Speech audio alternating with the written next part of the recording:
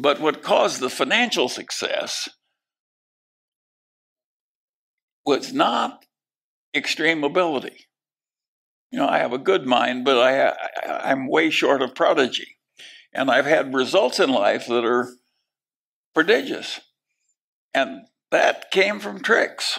I just learned a few basic tricks from people like my What- grandfather. What, what were those what tricks? kind of? now everybody's leaning in, wanting to know. It's too late for you old guys. yeah, anyway, but the uh, no, there are all kinds of tricks that I just got into by accident in life. One, I invert all the time.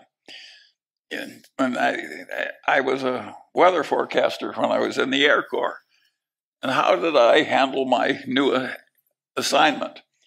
being a weather forecaster in the Air Corps is a lot like being a doctor that reads X-rays. It's a pretty yeah. solitary. Yeah. You're in the hangar in the middle of the night Yeah. and drawing weather maps and you're clearing pilots, but you're not interfacing with a bunch of your fellow men very much. And so I figured out the minute I was actually making weather forecasts for real pilots, I said, "How can I kill these pilots?" Now that's not the question that most people would ask. But I want to know what the easiest way to kill them would be so I could avoid it. And so I thought it through in reverse that way. And I finally figured out, I said, there are only two ways I'm ever going to, I was in the ferry command, there are only two ways I'm going to kill a pilot. So I'm going to get him at icing his plane can't handle, and that will kill him. Or I'm going to get him someplace where he's going to run out of gas before he can land because all the airports are sucked in. And I just was fanatic about avoiding those two hazards. And if Kobe Bryant had had somebody like me, he'd still be with us. Yeah, it was so stupid to kill, kill yourself that way. Tragedy. And but just that basic, I may have learned that from my grandfather. My grandfather would say to me when I'm swimming, he'd say, "Swim as long as you want, but stay near the shore." Well, but you can laugh, but No, is he it was uh, a very wise man.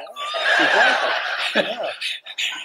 But what, what I'm what I'm hearing you say is that you, as a discipline, look at what the risk is on the other side of the situation, and you avoid that. That's one of the rules, right? Well, it's it's just it's it's like a lot of practical problems in algebra. If you invert, you can solve it easily. You if you don't, you can't solve it easily. Exactly right. And so, of course, I, I had that trick very early, and and most people they say, "How can you?" Please tell us what you do to save India or to help India.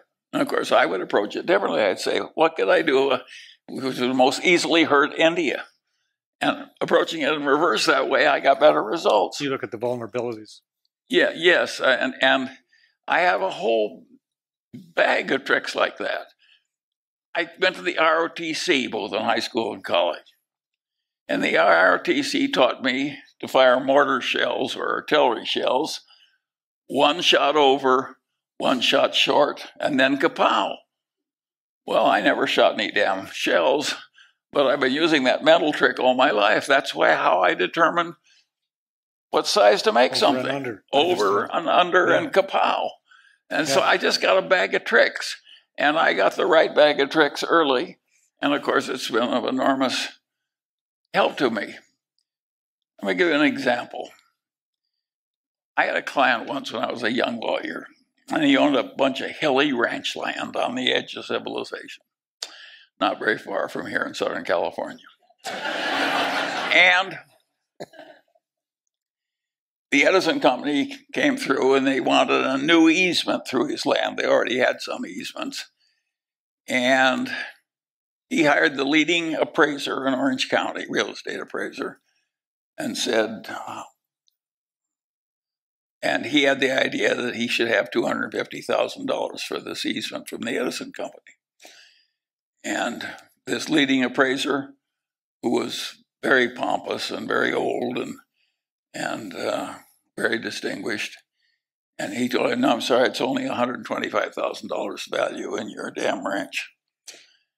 And so he came to me and said, Charlie, can you talk some sense into this elderly appraiser? And so I looked at his problem and I told the president what I thought how he was doing his own appraisal wrong. I'm not a real estate appraiser, he is. And what he had done is what he was taught to do in appraisal school. He thought the problem through in two dimensions, and he figured out from comparable sales what the value per acre was, and then he computed the acreage, and he had something a little bit on the on the damage the easement would do to the remaining property, and so. But it was all done in two dimensions. And I said to this appraiser, "You've got to do this in three dimensions." You know, God gave us three dimensions, and I said if they put the utility towers, big transmission line towers, which is why the is going it's going to freeze the grade. And the logical way to develop your land is to lop off the top of the hills and put them in the valley. That's the way hilly land is developed. And they're doing enormous damage to you by freezing the grade. And he said, he wouldn't change a damn thing. So I said to my elderly client, I think you have to fire this twit. and I will hire you an appraiser who can think. And so I got him $600,000, which wasn't at all hard because I was dealing with a bunch of honest engineers at the Edison who did think in three dimensions. But again, that's so simple, but you'd be surprised how many lawyers would screw that one up. And and of course, people like that appraiser who didn't know his own business very well because he didn't pay attention to the fundamentals, those people are always with us. And if you just have the mental trick of constantly going back to the basics, Mhm. it's pretty basic insight that Are you conscious? the, the geometrical problem in a real world is three dimensional. Are you conscious of the rules or they're just there? well, it's so habitual with Yeah. I understand.